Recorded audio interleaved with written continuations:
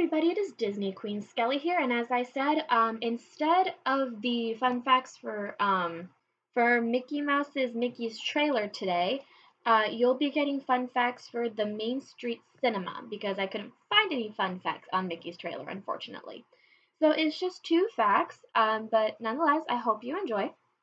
Um, I do want to apologize whenever I find only like less than five fun facts. Um, it's not my intention. I look all throughout any source I can find, and there's only one that each time that really gives me something. And it's not that I don't want to look. I I do look. Just you know, sometimes it's just a little bit easier to go to one site than it is to pick from multiple. You know what I mean? But you know, I still see that you guys like them enough, and I mean, I love reading them to you guys. Like even if it's just one fact. I mean, that means they did, that means, they usually means like they didn't try too much with it. You know what I mean? Like they didn't try to add like so much to it that it just became like confusing or like that.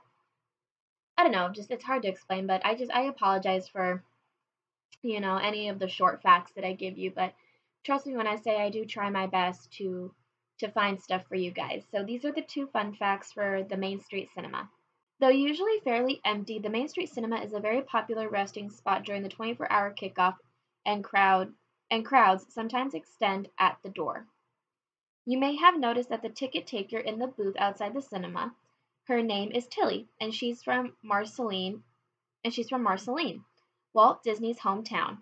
You can see her name you can see her name and hometown if you look closely at her cast member name tag. And those are the two fun facts for Main Street Cinema.